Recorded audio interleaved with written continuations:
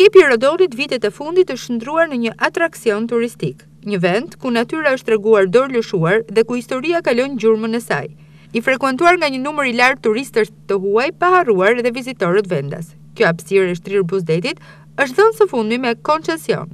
Duket se As kjo dhuratë e natyrës nuk ka mundur t'i shpëtojë ndërhyrjeve për ndërtimin e një porti jahtesh. Ministria e Infrastrukturës dhe Energjisë ka shpallur fitues bashkimin e përkohshëm të kompanive Praslin Investment dhe RMT. Në ofertën e kërkuar të ndërtimit të Marina në Rodon, rezulton se nuk ka pasur konkurrentë të tjerë dhe si pasojë as ankesa. Kohëzgjatja e kontratës do të jetë 35 vite.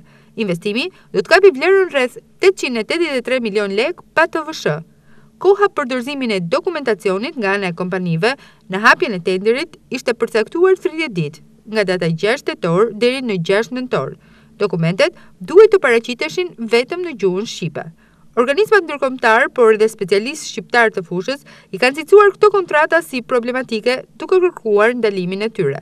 Argumenti kryesor është se vlerësohen si një borxh i fshehur që rrezikon buxhetin, pa anashkaluar edhe procedurat e ndjekura. Ndërkohë, pas shpalljes së fituesit, do të operohet me lidhjen e kontratës, duke shënuar dhënien e radhës me koncesion pikërisht në Kepin e Rodonit.